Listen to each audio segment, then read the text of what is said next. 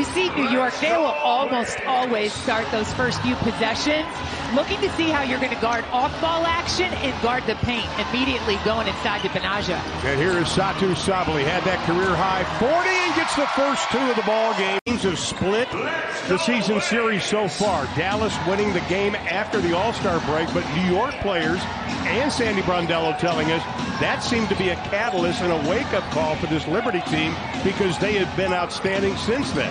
Dallas has kind of been, as we see, a beautiful backdoor cut. Rolled in her 13th season having an outstanding year. She's had an incredible career. She's already got that championship under her belt. She's seeking another one. And again, speaking of another one, Ron, and then a captain as we see Stewie find her short jumper. She's somebody that's that's pretty easy right there. WNBA players, thank you all. And here is Satou Sabally. Not only on the basketball court, but in the locker room in front of the media. I think that vocal she is. Stewie made her made Crystal change the shot, but shot. Those statistical areas of growth for her. She's produced it. They'll play that old school high-low basketball if you let them. Poked away, Kuier comes up with it. The growth of Awak Kuier over the last month has been noticeable. Here is Satou off the glass and so game.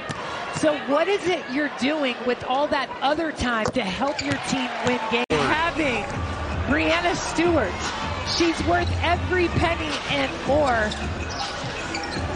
And what she brings to both ends of the floor. Here is Arike, kicks it back out, shot two for three. And I think Vandersloot had to get a better idea where Jonquel actually wants the ball, and that's what they've been able to do since the All-Star break. I love the story, the origin story of Jonquel Jones. And uh, for all of us, our origin story has a lot to do with our personality. I still don't know if she knows just how dominant she can be. Oh, he's really been physical today. Laney straight up top this time in and out.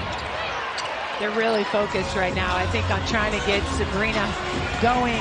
And coming into this game, Sandy Brondello said, yes, we want to get the win. And a Sabrina. Ninth 20-point game for Sabally. Laney, no. Siegrist taps it to Teaira McCowan. Ah, Satou, great position inside. She's got 20. And Satou with a steal. Stewart trailing. Satou with a layup.